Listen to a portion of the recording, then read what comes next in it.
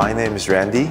I'm the head of NatCat modeling for Asia Pacific at SCOR Global P&C.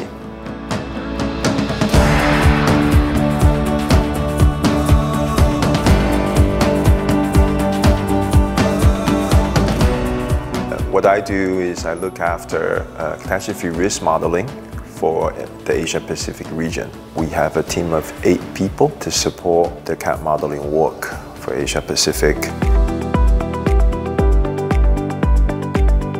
With CAT risk modeling, this is a application of big data, scientific research, and technology.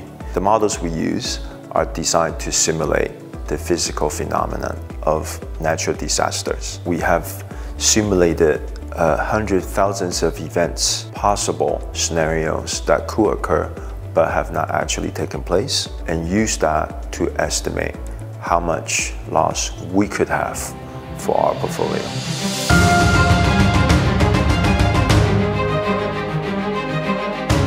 So here in Asia, we study typhoon going across uh, many different countries, Philippines, Taiwan, Japan, Korea, China.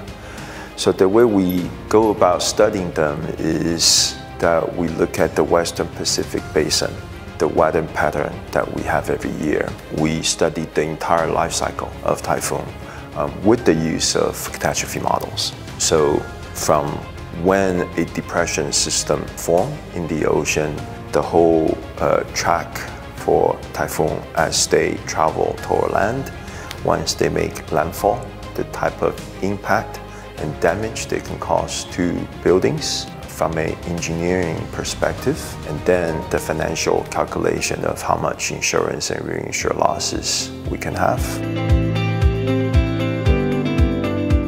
Well, I think it's really exciting, the diversity we have internally, as well as uh, working with clients uh, externally.